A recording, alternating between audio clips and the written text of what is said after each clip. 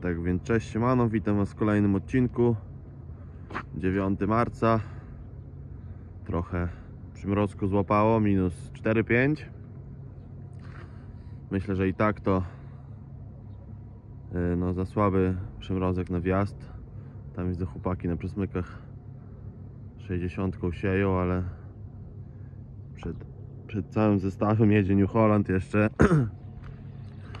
Jeden rękaw mamy wysuszony już a dzisiaj startujemy trochę z nawozami. Pod suszarnią jeszcze bałagan, bo wieczorem skończyła się suszyć. Trzeba będzie tutaj to ogarnąć.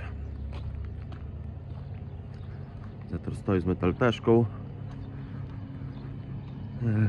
No i co, biorę ładowarkę, ciągnik, ciągnik już odpalony, ładowarka w sumie też grzeją się. Sypiemy i startujemy. W sumie na, na takie trochę lepsze pola jedziemy, bo tych naszych mokradłach tutaj nawet nie ma szans, żeby to rozsiać. Wczoraj pojechałem na taką działkę 4,5 hektarową, przejechałem raz w koło, to myślę, że jakieś 80% pola e, to wyżnęła się kolejna taka w kolano, także na, na jednym okrążeniu, więc trochę, trochę bez sensu było tam w ogóle wjeżdżanie. No ale trzeba było spróbować. Zawsze na tym polu jakoś tam się jeździło, nawet jak było mokro, to na takim dołku było słabiej, a, a gdzie wyżej się przejeżdżało, a tutaj po prostu wjechałem w pole, przejechałem kilkanaście metrów, zaczęło się żnąć. Myślałem, że za tym dołkiem będzie lepiej, ale jednak jednak lepiej nie było. No i co? Ustawiamy się, sypiemy. Startujemy John Deere zawalony cały w płocie po, po ostatnim sypaniu. Jesteśmy właśnie na działce sianej bezorkowo. Tutaj akurat w tym miejscu trochę mi się ściągnęło resztek z kukurydzy. Ta działka robiona była właśnie w bezorce. Re.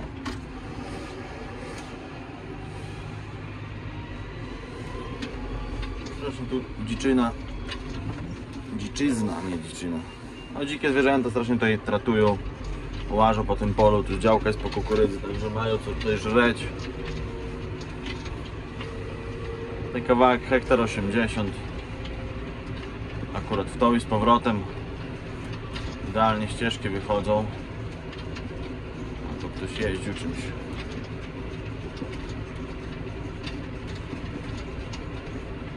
Może leśniczy czy ktoś tam nie leśniczy, tylko z koła łowieckiego chłopaki może strzelali sobie. No i ogólnie pszenica po bezorce bardzo fajnie wygląda. Ładnie się zazielenia. To co widzę, znaczy no, czy widzę, to co w późnych siewach w ubiegłym roku chyba w miarę zaprocentowało to to, że po prostu te rośliny teraz są mniejsze, mniej tej wody z ziemi wypijają i jeżeli później jest suszej, to mają większy zasób tej wody w glebie. I tak jeden do jednego nie porównywałem, ale wydaje mi się, że również są nieco lepiej ukorzenione od tych, które siane są dużo wcześniej. Jakoś nie wiem, wydaje mi się, że dobre warunki na jesieni jakoś tam nie zmuszają tej rośliny do, do mocnego ukorzeniania się, a tutaj w takim przypadku rośliny ładnie korzonki puszczają. No i dobra, i działeczka owalona.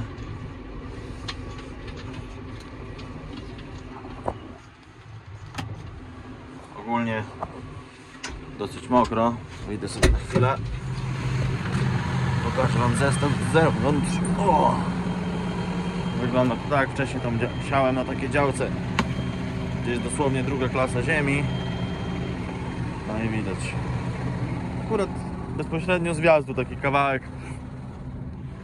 Nie wiem, 10-15 metrów od wjazdu na pole. Jest tak przekichany, jest mokro. I w sumie w drugim końcu pola tak samo. Bok był zakurzony. Tu akurat idzie w tym momencie saletra. Dawce 300 kg na hektar. Był plan jeszcze, na, żeby rozsiać tutaj sól, kredę i kizeryt. ale jakoś wcześniej się tutaj nie wybieraliśmy. E, trochę z braku czasu, trochę też potem śniegu nam napadało po sianiu tym wcześniejszym w styczniu. No jak było śniegu, nie wiem, 20 cm, nie chciałem się tutaj tak jakoś tam powiedzmy pchać na siłę, żeby też to nie pospływało, chociaż w sumie nie są tutaj takie mocno e, pochyłe te działki, no ale wcześniej się nie udało tego rozsiać, no akurat na tej działce to można by było i 10 razy jeździć, to nie, nie robi różnicy, no ale na, na tamtej działce, na której wcześniej byłem, tam ona jest akurat pod tamtymi las, pod, prawie pod tamtym lasem. No i kurde. O, coś telefon zaszwankował, mówię, jeżeli jeżeli miałbym na tamto pole jechać z, z kizerytem albo albo z solą jeszcze teraz, to chyba wolałbym pojechać tam i rozsiać mocznik, żeby już mieć te nawożenia azotowe zakończone w jakiś tam powiedzmy sposób. No a tutaj pszeniczka Trochę ją dzisiaj przymroziło. Pewnie nie wyciągniemy, nie, ale jest. Ostatnio jak tu byłem, to jeszcze była dosłownie wyszpilkowana, ale miała bardzo fajne korzonki. Bezorty spory bałagan, ale w ubiegłym roku było tak zasiane sporo, bo nie wiem, chyba coś około 10 hektarów. I sprawdziło mi się to bardzo fajnie, wyszło. Siane było w tym roku trochę wcześniej, bo na początku listopada.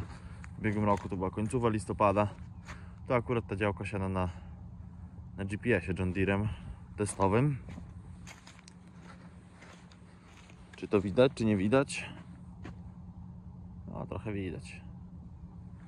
Też siewnik trochę na ramionach pracuje, także nie będzie to tak tip-top idealnie, ale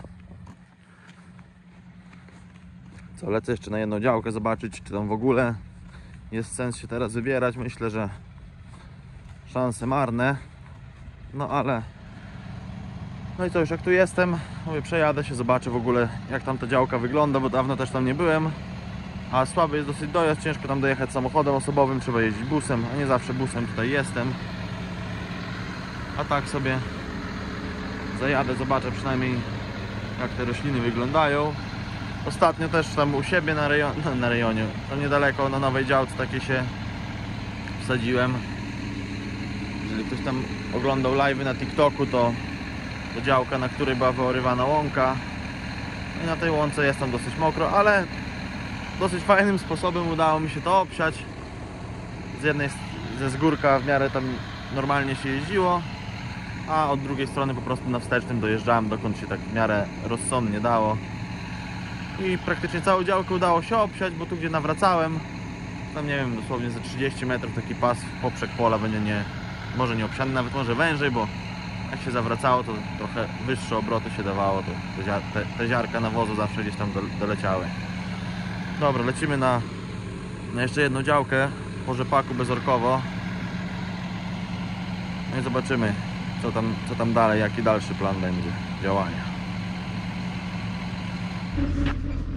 W tym roku, z racji tego, że poszedł kizeryt na większość działek, zrezygnowałem z seletrosanu i w to miejsce poszła seletra trochę więcej azotu, a cena praktycznie, praktycznie taka sama, porównywalna. Akurat e, saletro, saletra i mocznik z importu. Na działki tylko na których nie dało się wjechać tam powiedzmy z kizerytem. Znaczy wjechać się dało, tylko chodziło mi, żeby ograniczyć jak najbardziej przejazdy. Miałem z zeszłego roku kilka big bagów seletrosanu, tam poszedł właśnie seletrosan na te działki, na które Mm, nie dało się wjechać z tym kizerytem. No mówię, wcześniej udało się rozsiać kredę i sól, trochę trochę schrzeniłem sprawę, bo należało się wtedy jechać jeszcze z tym kizerytem. A tak po prawdzie to można było wtedy też dać yy, dać trochę mocznika w styczniu. Trochę, trochę bałem się w styczniu tego nawożenia tak azotem jeszcze, bo to trochę, trochę chyba było za wcześnie. No ale to wiadomo, mądry Polak po szkodzie, szczególnie teraz, że są warunki takie jakie są. Opaj. Jedziemy na działkę z rzepakami, znaczy na działkę, na działki z rzepakami. Yy, część pszenic zostanie na później do podsiania. Może w przyszłym tygodniu trochę to obeschnie. Kurde, najgorsze to nie zapowiada się za dobra pogoda. No i marne szanse, żeby płynął okres międzyobsługowy. No i nie bardzo jest nadzieja na to, żeby tam było lepiej. Na przyszły tydzień jakieś opady trochę nadają na jeden dzień. No ale nie wiem, może, może pod koniec przyszłego tygodnia coś, cokolwiek uda się cokolwiek uda się posiać. Mm.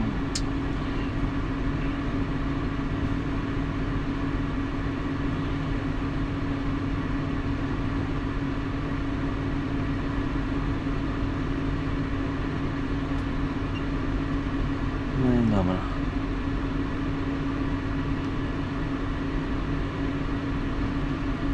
Dosypane 1400 kg faktycznie, bo to 700 big bagi. O.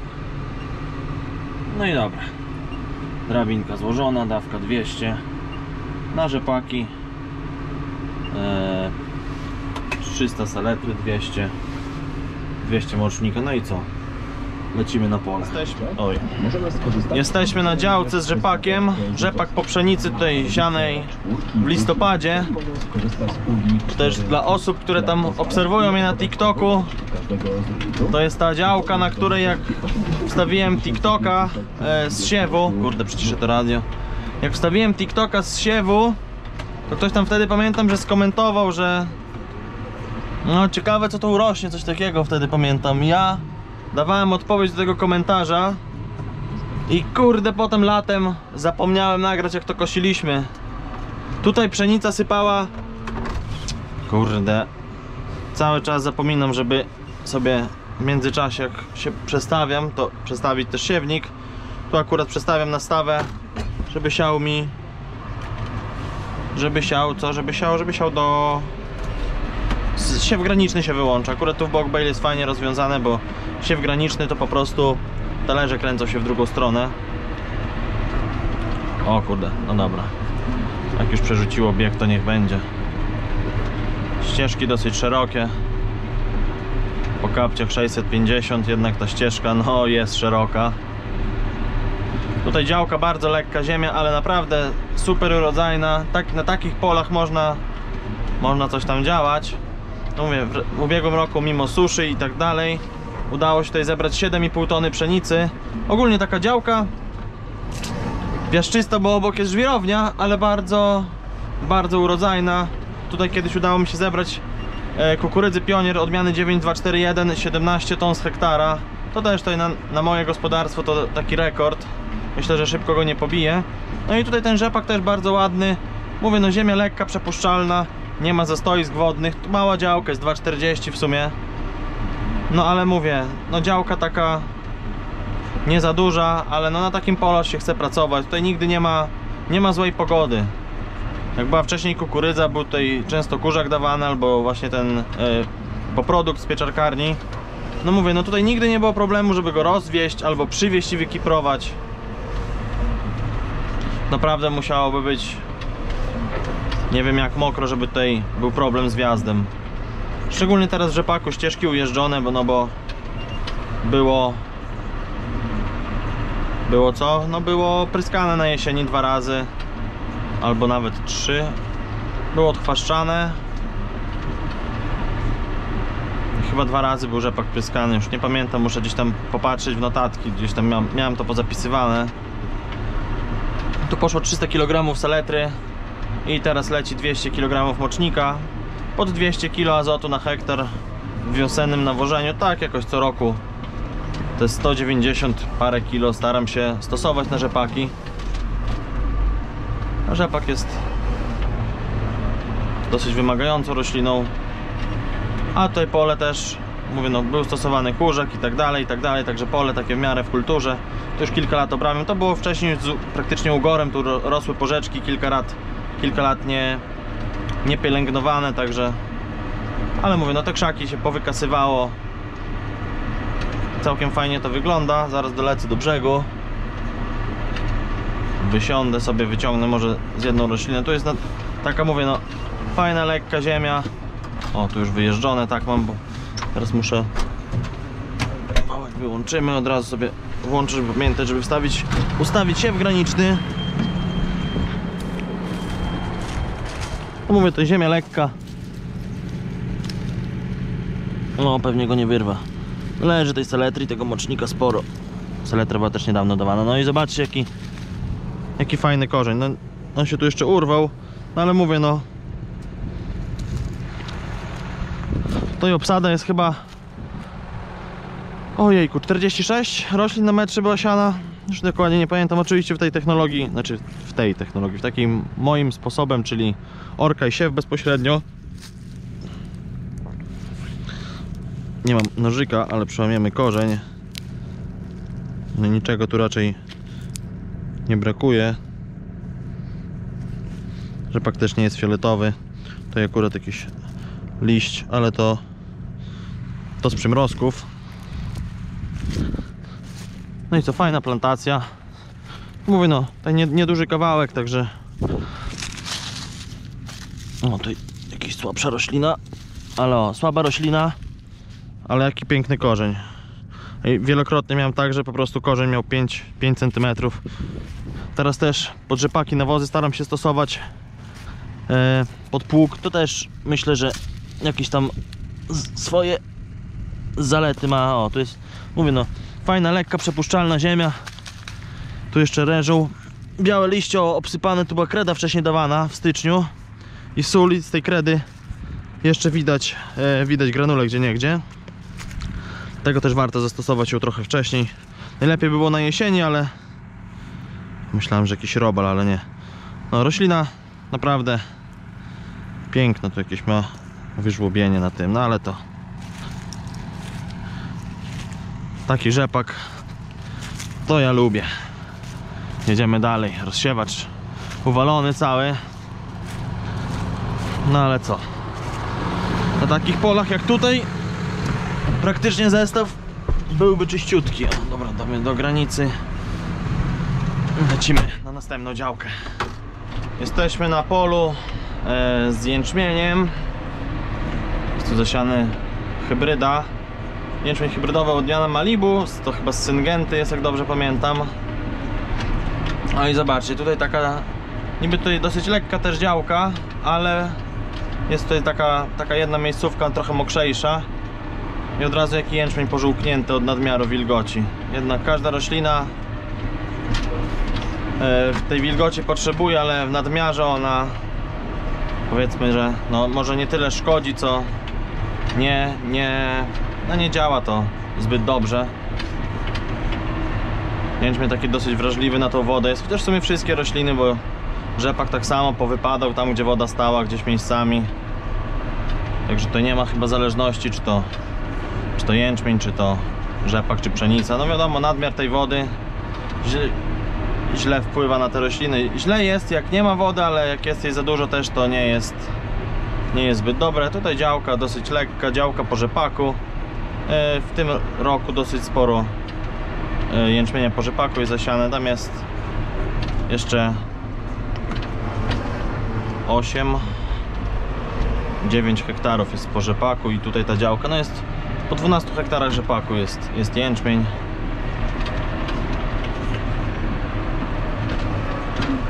W sumie pierwszy rok e, bawię się w jęczmień o zimy, nigdy wcześniej go tam nie, nie uprawiałem. To tak powiedzmy na, na spróbowanie, na próbę, znaczy na próbę. Po prostu chciałem e, chciałem posieć coś innego, siać jakieś żyta czy coś, to wiadomo, że e, może trochę szkoda szkoda pola, szczególnie, że tutaj dosyć niezła działka, rzepak sypał tam około 4,5 tony. No mówię, u nas mm, te działki odbiegając od, od reguł i od, od standardów na powiedzmy na świecie. A nie, nie wyłączyłem siewu granicznego E, u nas no działki odbiegając od tego co się dzieje powiedzmy w świecie no to na tych lżejszych gruntach zawsze te plony i, i wyniki są lepsze niż, niż na tych działkach takich cięższych. Może przez to, że te działki cięższe to nie są jakieś tam urodzajne gliny, tylko zwykłe bielice. Tutaj poszło. E, co tu poszło? Tu poszła saletra. Coś chyba w granicach 300 kg i teraz 135 kg mocznika. No i na jęczmieniu e, planuję na tym zakończyć nawożenie, chyba że coś tam później jeszcze będzie brakować, to jakieś tam 80-100 kg jeszcze saletry tutaj dorzucę, ale wydaje mi się, że e, będzie to zbędne. Jęczmień ładnie rozkrzewiony. Tutaj bardziej może na pszenicę sobie e, wyjadę później jeszcze, znaczy później, no gdzieś tam z początkiem kwietnia może tam będzie już trochę lepiej ta, ta, kuku, ta kukurydza, ta pszenica i dokrzewiona i rozwinięta. Żeby sobie może delikatnie parametry podciągnąć, to postaram się ją jakoś oddzielnie w żniwa wysypać i spróbować ją może potem na konsumpcję gdzieś sprzedać. Są u nas możliwości, bo, bo w, ubieg w ubiegłych dwóch latach praktycznie, żeby zastosować odrobinę azotu na kłos, to i bez tego parametry prawie się łapały, a mówię dać chociaż trochę tam nawozu na, na ten kłos, jak to się mówi, to, to efekt od razu jest widoczny. Tu chłopaki przyjechali się trochę ponagrywać. Albert i Michał. Także jakiś film z nawozów e, no na pewno się ukaże. Fajnie, bo udało się posieć trochę na rzepaku, na pszenicy i na jęczmieniu. Także z różnych upraw będą fajne ujęcia, miejmy nadzieję.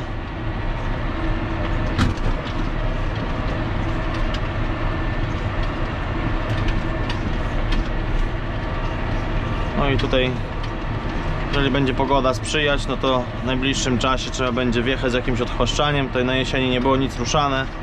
Tylko mówię, no tutaj działka lekka, więc nawet te nieubite ślady nie przeszkadzają tutaj w, jeżdże, w jeżdżeniu, w- no, we wjeździe z nawozami. Jadę to już trzeci raz, bo poszedł to kizery, to saletra i teraz idzie mocznik. No i jak widać bez jakichkolwiek tutaj problemów, tutaj odrobinę jest, no ale tutaj rok w rok zawsze tutaj jest jakiś jakieś takie manewry tu się odbywają. Opaj. Ale to duży minus też, że ten John Deere ma takie szerokie koła i jeżeli się zapada, to potem yy, no te błoto wypchnięte przez koła praktycznie zasypuje całe międzyrzędzie tutaj pomiędzy, pomiędzy kołami. To dosyć spory, spory minus.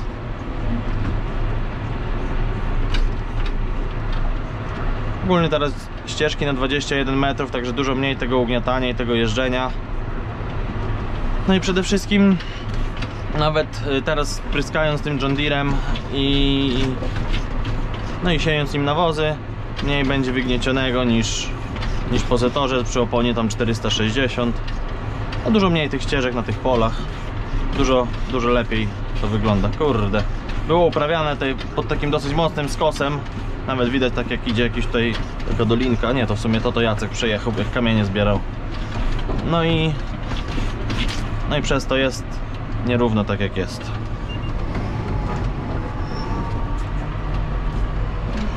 No i dobra, działko obsiana. Tutaj mam e, trochę ziemi. Tu za, za tą gromadą kurzaka leżała ta ziemia i tam w sumie na środku pola też była, znaczy na środku przy, przy miedzy było kiedyś wykopany dół. Był z niego tam piach wybierany. I przy tym dole było sporo tej ziemi nawiezione i teraz trochę było, już wyszło jej za dużo. Część tato tutaj przewiózł, trzeba to będzie zabrać. Chociaż w sumie nie, to podejrzewam, że ziemia, która była z tyłu za gromadą obornika, tą ziemię trzeba będzie w ten dół właśnie jeszcze dowieść. A, a kurzak tu wywieziony, no bo z drogi dobrze cofać. Pójdzie pod kukurydzę gdzieś tutaj na te działki dookoła i po żniwach, po jęczmieniu pewnie tutaj pójdzie. W sumie trzeci sezon tu z kolei będzie kurzak dawany, bo było dawane pod rzepak, teraz pod jęczmień. Ale jak jest to w sumie, jeżeli w tym roku uda się tutaj jeszcze rozrzucić kurzak, to będę myślał o zejściu w ogóle z nawożenia jesiennego. Chociaż w tym roku i tak delikatnie, bo było tam po 100, 150 chyba kilogramów jakiegoś tam holista albo NPK dawane w zależności tam od, od którego pola na, na działki, gdzie jakieś tam nowe, których nie uprawiliśmy, szedł NPK żeby tego azotu trochę tam dostarczyć tym roślinom, a na działki tak jak tutaj, gdzie kurzak i tak dalej szedł, to po prostu holit samo PK bez zbędnego tutaj ładowania kosztów. Lepiej sobie trochę podbudować ten fosfor i potas niż właśnie sam azot azotu generalnie jest myślę, że pod dostatkiem. Dobra, zjeżdżamy na bazę, na dzisiaj to raczej koniec będzie nawozów.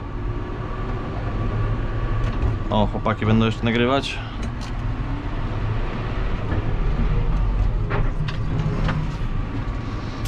No to dobra, dobra, to tyle na dzisiaj. Do zobaczenia w następnym odcinku. Trzymajcie się, no i cześć.